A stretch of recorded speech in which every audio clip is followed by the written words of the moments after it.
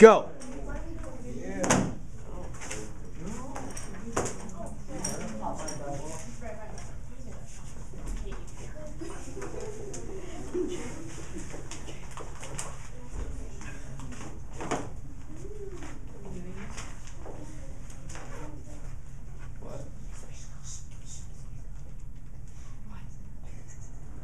Um, I.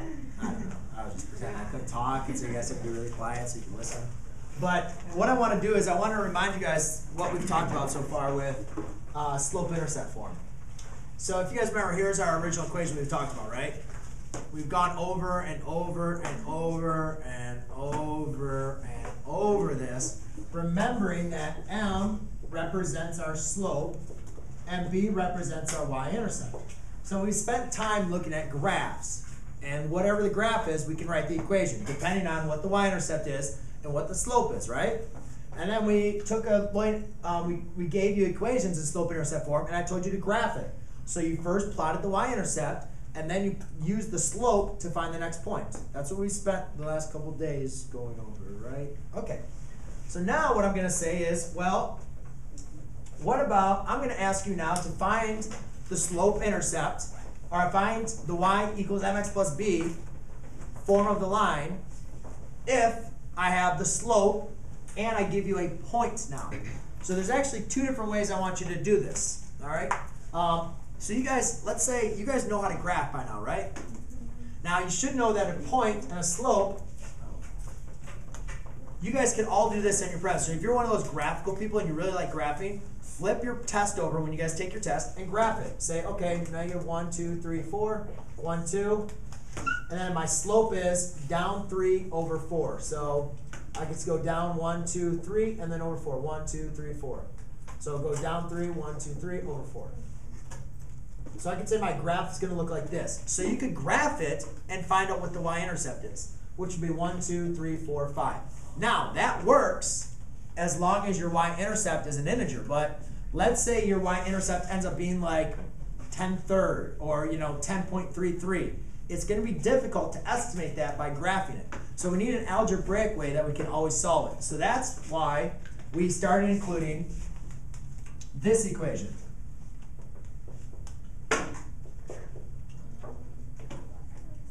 Now, we developed this, the point slope form, when we're given a point of a graph and we're given a slope. So this is the perfect equation to use. Now you might be saying, well, Mr. McLogan, we know a point only has an x and a y, right? So why are you giving us an x1 and a y1 and an x2 and a y2?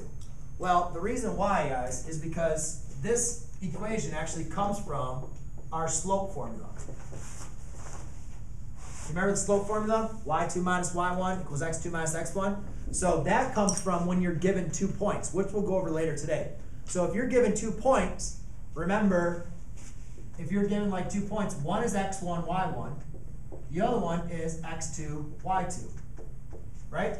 So if you're given two points, we label them as x1 and then x2. However, here we only have one x and one y, right?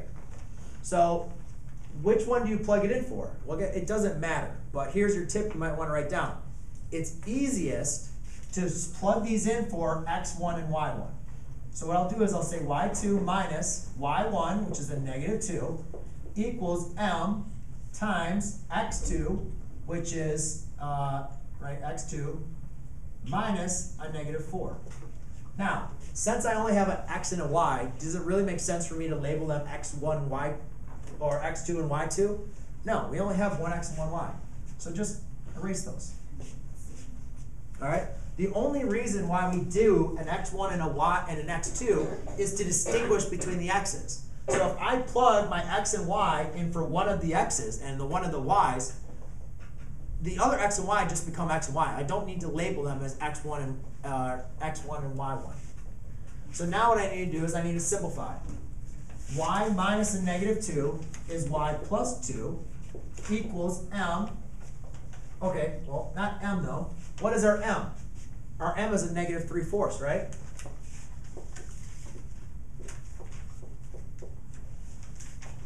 And then x minus a negative 4 just becomes x plus 4. Okay? So now the next thing I want to do, Justin, as you're writing this down, is you're going to want to use distributive property. So I have y plus 2 equals a negative 3 fourths times x.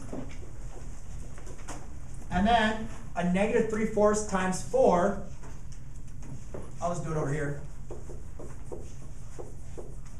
How do you guys multiply a fraction times a whole number? Change your whole number to a fraction. Multiply across. Right? Or what we could say is, these just cancel out to give you negative 3 over 1, which is equal to negative 3. Either way you want to think about it, your answer is negative 3. Oh, that's actually, yeah, minus 3. Then, the last thing we need to do is remember, I want it in this format, right? So I have a y plus 2. I need to get rid of that 2. So I'm going to subtract the 2 on both sides.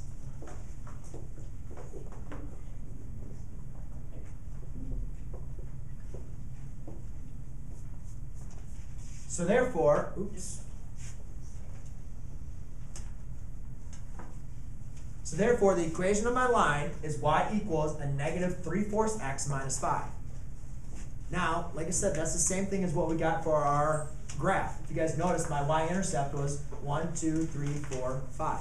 So the y-intercept is negative 5, and the slope is negative 3 fourths. So that's how you do it algebraically. Okay? So if you guys are given a slope and a point, you guys can use that equation to solve.